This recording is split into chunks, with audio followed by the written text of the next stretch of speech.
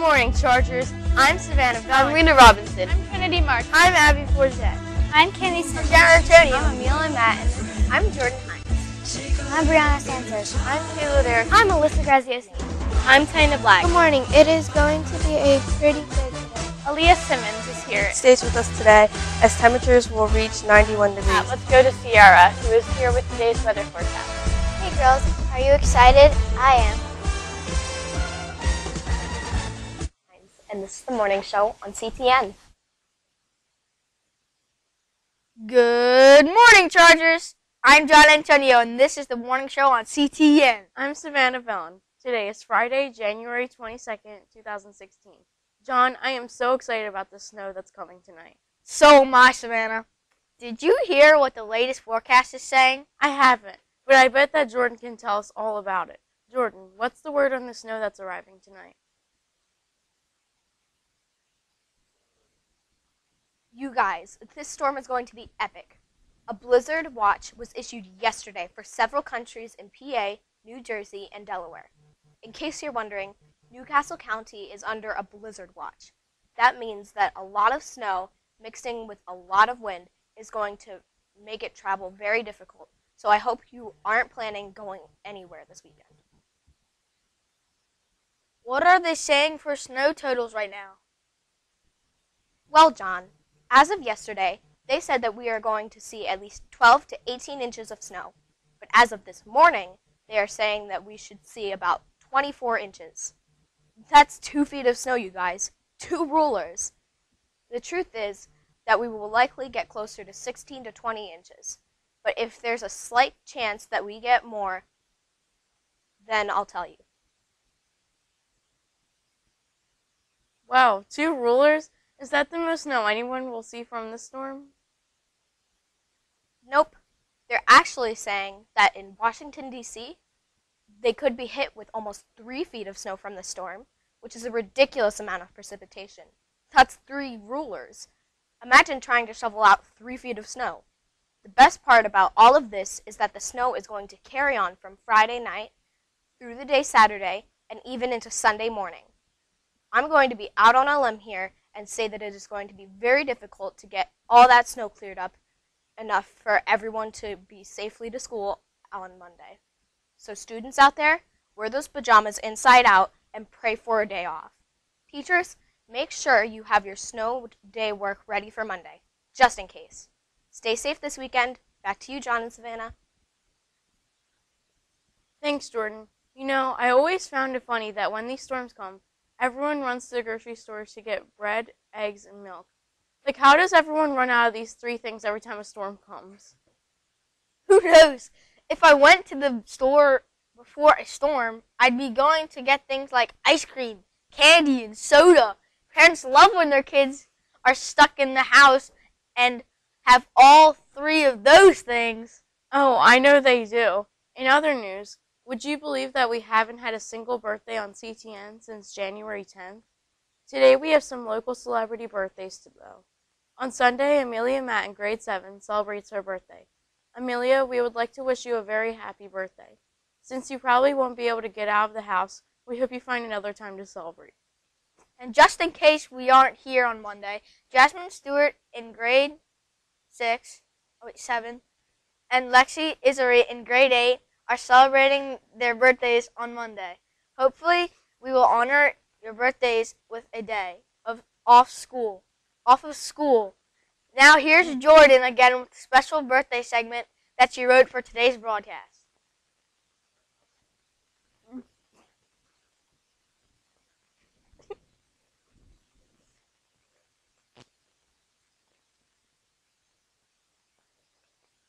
Thanks, John.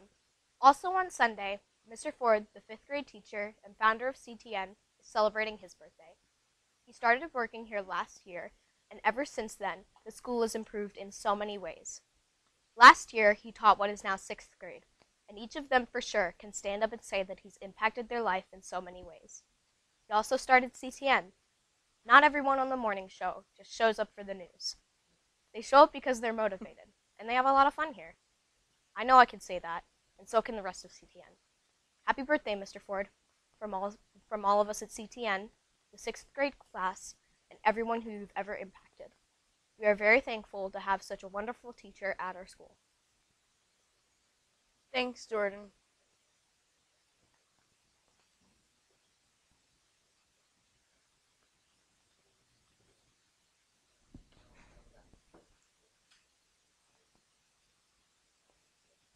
Attention cast members of Seussical Junior in grades 5 through 8 only.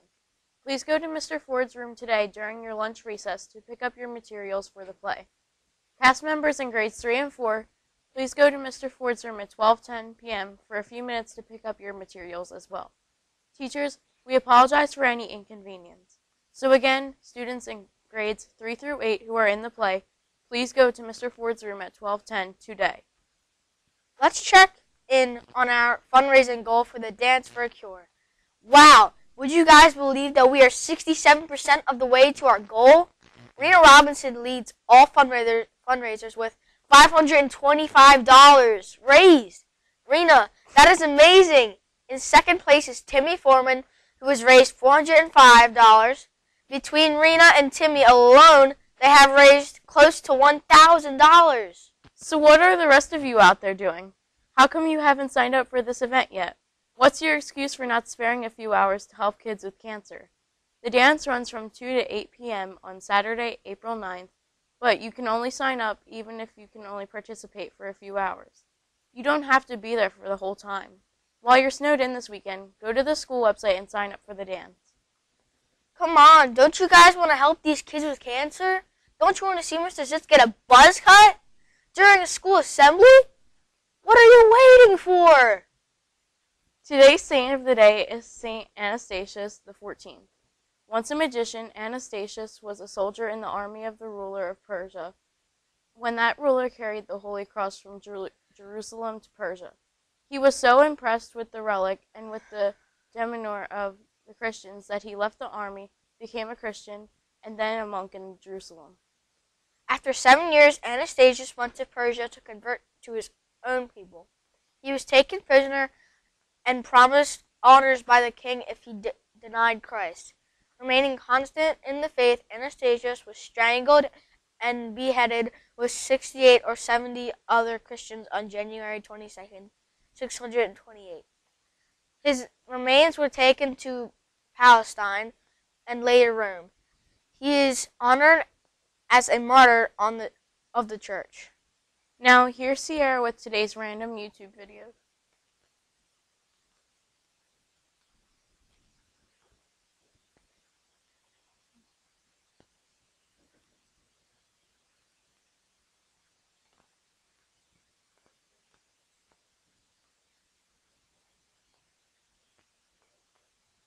Alright, you guys.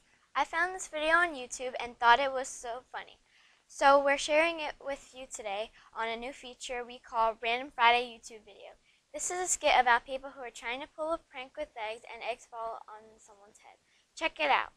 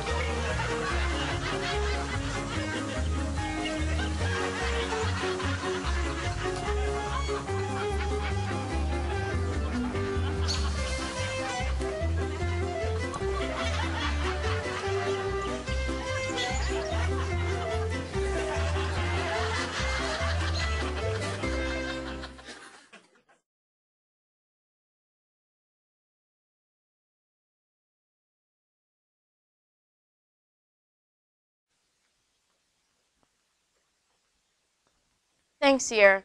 Okay, you guys, that's it for us today. We hope you guys stay safe and warm this weekend. Be careful if you're going sledding. Since the snow will be so deep, it's very easy to fall or get stuck. We don't want anyone coming back to school on crutches from a snow injury. Hopefully, we'll see you guys on Tuesday instead of Monday. Have a fabulous weekend. The snow is coming. Ah!